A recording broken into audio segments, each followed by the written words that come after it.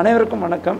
இப்போ இந்த தடுப்பூசி வந்து தமிழ்நாட்டை பொறுத்த வரைக்கும் இது வரைக்கும் தொண்ணூற்றி ஆறு புள்ளி ஒன்று எட்டு லட்சம் தடுப்பூசிகள் தமிழ்நாட்டுக்கு இரண்டு கேட்டகரியில் வந்துள்ளது. இந்த இரண்டு கேட்டகரியும் நாற்பது வயசுக்கு மேலே இருக்கிறவங்களுக்கு வந்து ஏற்கனவே மத்திய அரசு மூலமாக நம்ம ஜனவரி பதினாறாம் தேதி தொடங்கி தொடர்ந்து தடுப்பூசி போட்டுட்ருக்கோம். இன்னொன்று வந்து மே ஒன்றாம் தேதியிலேருந்து பதினெட்டுலேருந்து நாற்பத்தி நாலு வயசு உள்ளவர்களுக்கு மாநில அரசு கொள்முதல்னு சொன்னால் கூட அதற்கான ஒதுக்கீடு மத்திய அரசு செய்கிறது இது ரெண்டுமா சேர்த்து தொண்ணூத்தாறு புள்ளி ஒன்று எட்டு லட்சம் நமக்கு இதுவரை பெறப்பட்டுள்ளது. அதில் நம்ம எண்பத்தேழு நேற்றே இரவு வரை எண்பத்தி ஏழு புள்ளி ஏழு பூஜ்ஜியம் லட்சம் பயனாளிகளுக்கு போட்டுள்ளோம். அதுக்கப்புறம் இந்த நமக்கு சில வேஸ்டேஜ் போன்றவை போக கையிருப்பு வந்து இன்றைய தினம் கார்த்தால நிலவரப்படி நாலு புள்ளி தொண்ணூற்றி மூணு லட்சம் தான் கையிருப்பில் இருந்தது. அதில் சுமார் ரெண்டு புள்ளி ஆறு ஒம்பது லட்சம் நாற்பத்தைந்து பதினெட்டுலேருந்து நாற்பத்தி நாலு வயசு உள்ளவர்களும் ரெண்டு புள்ளி ரெண்டு நாலு லட்சம் நாற்பத்தைந்து வயசுக்கு மேலே உள்ளவர்களுக்கான ஒதுக்கீடு. நம்ம நாள் ஒன்றுக்கு கடந்த நேற்றைய தினம் சண்டே பார்க்கலன்னா ஆல்மோஸ்ட் ரெண்டரைலேருந்து மூணு லட்சம் பண்ணிட்டு இருந்தோம். ஸோ இந்த பேஸ்லேயே நம்ம பண்ணோன்னாக்க நாளை முதல் நமக்கு வந்து தடுப்பூசிகள் மாவட்டத்தில் மற்றும் சென்னை மாநகராட்சியில் நமக்கு தேவையான தடுப்பூசிகள் முடிந்துவிடும். ஸோ இதற்காக தான் நம்ம ஏற்கனவே இப்போவும் நீங்கள் பார்த்துருப்பீங்க ஆங்காங்கே வந்து அந்த மாவட்ட ஒதுக்கீடு நம்ம கொடுத்தால் கூட மூவாயிரம் தடுப்பூசி இடங்களுக்கு போகும்போது ஆங்காங்கே அந்த தடுப்பூசி முடிந்து விடுறது. ஸோ மாவட்ட ஆட்சியருக்கு இந்த தகவலையும் உங்கள் மூலமாக தெளிவாக நமக்கு கிடைத்த தடுப்பூசிகள் முழுமையாக பயன்படுத்தி நம்ம முடிக்கிறதுக்கான த அறிவுரையை நம்ம மாவட்ட ஆட்சியர்களுக்கு அதே மாதிரி சென்னை மாநகராட்சி ஆணையருக்கு சொல்லியிருக்கோம்.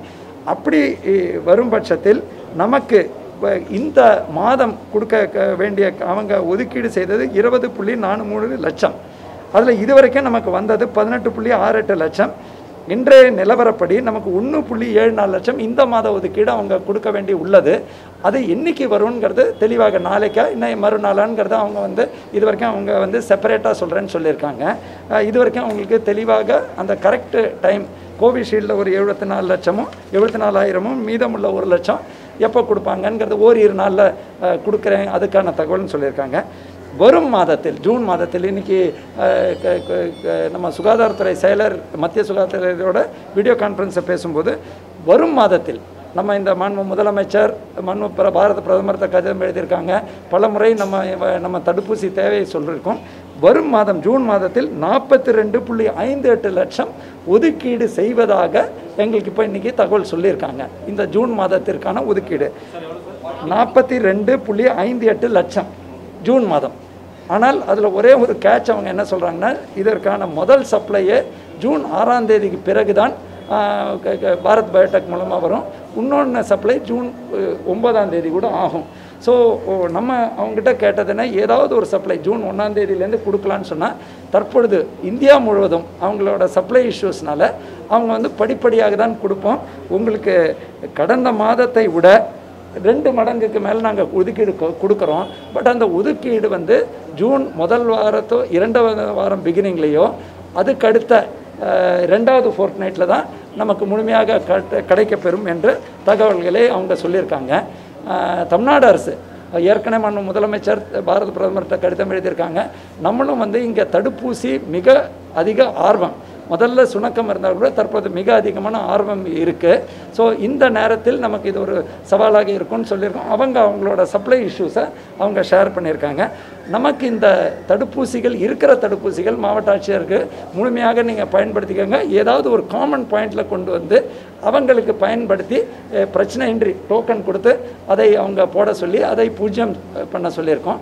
வெறும் இந்த வந்த தகவல் வந்தவுடன் நாங்கள் வெளிப்படையாக எந்தெந்த நம்ம வந்து அனைத்து மாவட்ட ஆட்சியர்களுக்கும் அவர்களுக்கு பிரித்து கொடுத்து அதற்கான ஏற்பாடுகள் செய்யறதுக்கான நடவடிக்கை. சி நான் தெளிவாக கொடுக்க சொல்கிறேங்க நம்ம வந்து உலகளாவிய டெண்டர் ஒன்று கோரியிருக்கோம். அதற்கான ஜூன் நாலாம் தேதி வரைக்கும் விண்ணப்பம் ஜூன் ஐந்தாம் தேதி அவங்க வந்து சப்மிட் பண்ணலாம். அன்றைக்கி நம்ம திறந்தால் தான் நமக்கு தெரியும். இந்த மூன்றரை கோடி ரூபாய் அப்படி நம்ம ஆர்டர் பண்ணியிருக்கோம். இன்னொரு ஒன்றரை கோடி ரூபாய். மத்திய அரசு வந்து மாநிலங்கள் ப்ரொக்யூர் பண்ணிக்கலாம் அப்படின்னு பதினெட்டுலேருந்து நாற்பத்தி நாலு வயசுக்கு சொன்னால் கூட தெளிவாக நாங்கள் உங்களுக்கு சொல்கிறோங்க அப்படி பண்ணும்போது தமிழ்நாடு அரசுக்கு எவ்வளோ அதுலேருந்து கிடைக்கும் அப்படிங்கிற தகவல் வந்து அவங்க தான் கொடுக்குறாங்க. குறிப்பாக இந்த மாதம் வந்து பதிமூணு புள்ளி எட்டஞ்சு லட்சம் தான் அவங்க அதில் ஒதுக்கீடு செய்து பதிமூணு புள்ளி ஒன்று பூஜ்ஜியம் லட்சம் சப்ளை பண்ணிட்டாங்க.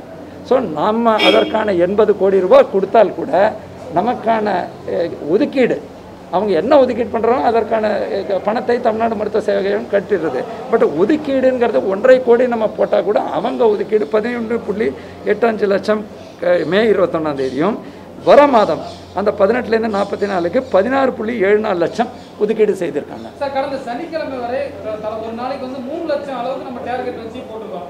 இன்னும் வந்து இப்போ இப்போ இருக்கிற தகவல் படி நாளைக்கு கூட முடியுதுன்னு சொல்ல போறீங்க. அது அடுத்த சப்ளை வந்து ஆறாம் தேதி தான் கிடைக்கணுமா? அந்த ஐந்து நாள் வந்து தடுப்பூசி இல்லாத நாட்களாக தமிழ்நாட்டுக்கு இருக்குமா?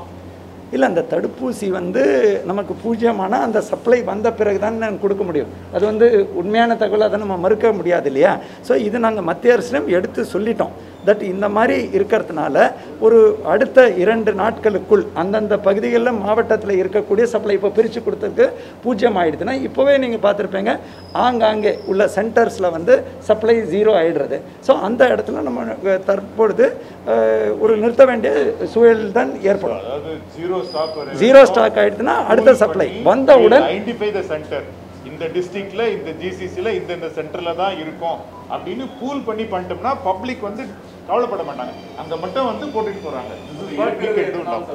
இது இருக்கிறதும் நமக்கு ரெண்டு. நாள் இன்று இன்று நாளைக்கு குறைந்தபட்சம் ஒன்று மூன்றாவது நாள். டோட்டலி நமக்கு நாலு புள்ளி தொண்ணூற்றி மூணு லட்சம் இருந்தது. இன்றைய தினம் மத்தியானம் வரை ஒரு லட்சம் பேருக்கு போட்டிருந்தோம்.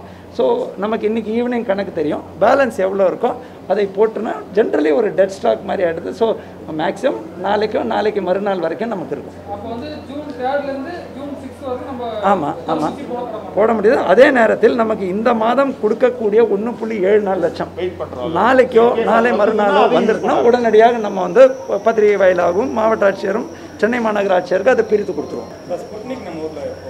இல்லை ஸ்புட்னிக் வந்து தேசிய அளவில் அந்த தகவல் வரல. ஸோ இப்போ அது வந்து நம்மளோட நாளைக்கு டெண்டரில் அவர் பார்ட்டிசிபேட் பண்ணால் இருக்குமே தவிர்த்து மத்திய அரசில் நான் கேட்ட வரைக்கும் டோட்டலி மூணு லட்சம் டோஸ் தான் மத்திய அரசுலேயே வந்திருக்கு அப்படின்னு சொல்லியிருக்காங்க. ஸோ இது எல்லாமே அவங்கக்கிட்ட தகவல் வரும்போது வெளிப்படையாக சொல்லுவோம் ஒருவேளை நம்ம தமிழக அரசு குத்தகை கேட்டிருக்கோம் நம்ம கிட்ட கை கிடைச்சா எவ்வளவு நாள் ப்ரொடக்ஷன் ஸ்டார்ட் பண்ணி இல்லை இல்லை. அந்த என்டையர் சப்ஜெக்ட்டுங்க மண் முதலமைச்சர் நேரடி ஆய்வு பண்ணியிருக்காங்க.